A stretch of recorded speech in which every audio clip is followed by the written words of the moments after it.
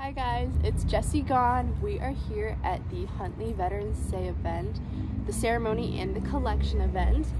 Um, let's see what's going on.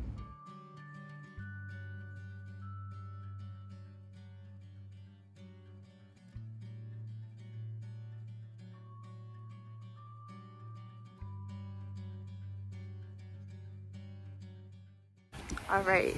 Can you guys tell me your names and then what branch you guys served in? Patrick Connolly, United States Navy. John Martinez, United States Marine Corps. All right. Thank you guys for your service. And then can you guys just tell me a little bit about your experience serving for your country? Well, I was in the Navy in 61 to 64.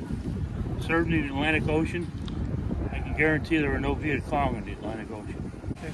I served 1964 to 1970. Mm -hmm. Went to Vietnam. On Christmas afternoon. Mm -hmm. Marine Corps went in as a boy and came out as a man. You learned a lot and you learned discipline and respect for other people. What made you guys both want to serve?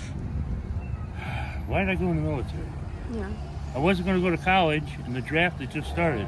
Oh. So you take a, go to where you went to the recruiters, and you took a pick. The Army are going to be digging foxholes. The Marines are going to be marching and shooting. Mm -hmm. The Air Force wouldn't offer you anything. The Navy offered me a school. So I took the school. As for me, mm -hmm. I quit my job. I had I had no girlfriend, no job. I was uh, my my life was being wasted. Saw a poster of a, a Marine with his dress blues, and then mm -hmm. that's when I decided I'm going to join the Marine Corps. I just talked to two veterans. It was super cool being able to talk to them. They told me branches they served in and oh, there's fire trucks going around and just a little bit about themselves and it was honestly really cool. Now I'm just gonna go around and talk to some other people who are the, at the event. So let's go see that. My name's Barb Reed. And then can you just tell me a little bit about this event and then what you guys are doing?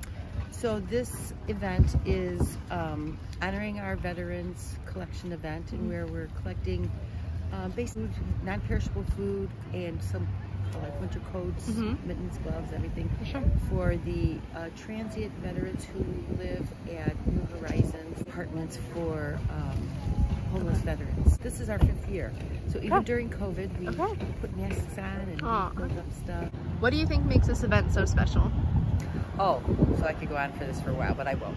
Um, it warms my heart that so many people come and do this. For sure. Um, and there's so, and most of the people who do this, which is kind of, it's young families and it's a lot of veterans who are helping other veterans, like yeah. a lot of veterans helping other veterans. Do you have any vets in your family? Oh yeah, my dad, my uncle, my grandfather. Yeah.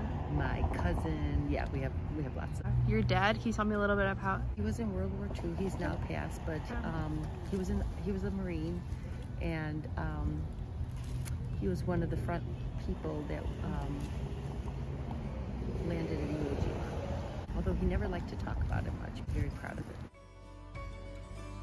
Oh, who am I here with? Hi, Chris Portalis. So we brought uh, our group of boys and girls from Cub Scouts Pack 167 to celebrate the Veterans Day. I yeah. learned a little bit about it. Where did you serve? In 82nd Airborne Division. All right, and then what um, branch? In the Army. And what made you want to serve? Um, adventure. Adventure? Yes. Yeah. Hi guys, it's the end of the event. I went around, talked to some vets, talked to some of the coordinators of the event. There was a lot of interesting people and I love that everyone was just able to come out and support the veterans, give some money, their time. I donated and I got a little bracelet. I'll show it here. And honestly, it was really cool. I learned, I learned a lot and honestly, if next year you have some time and you want to come out to this event, I would really recommend it. It was really cool seeing all the different veterans and then just seeing all the people who wanted to come out and support. It's really wholesome event. While today we rejoice and honor the service of America's veterans, we also remember the wise words of General Douglas MacArthur. The soldier, above all other people, prays for peace.